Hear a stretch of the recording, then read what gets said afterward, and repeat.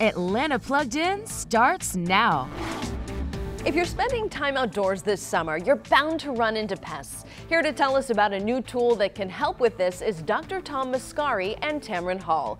Thank you both for being here. Dr. Mascari, tell us more about this new resource. As somebody who studies bugs for a living, I know how important it is to protect yourself against these pests that can really ruin your summertime activities and fun.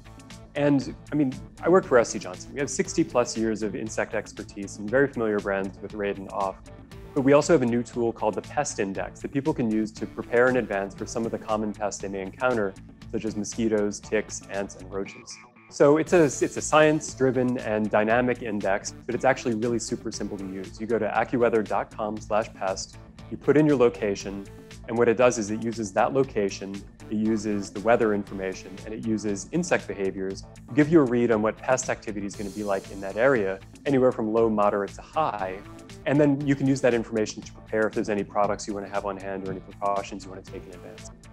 And Tamron, what are your biggest concerns about pests? Well, my biggest concern is my son. Um, he happens to have an allergic reaction every time he's bitten by a mosquito. We discovered that last summer. And since then, I've been using off family care after his pediatrician suggested that I use insect repellent. So it's worked out for us. We spent yesterday outside at a birthday party. We love gardening together. I also love camping. We're going to go off camping a little bit later and we plan on using the pest index. We live in New York. I'm camping in Texas. I've spent a lot of time in Atlanta, Georgia, where my show airs as well. So for me, we do travel a lot as a family and knowing what we face is important.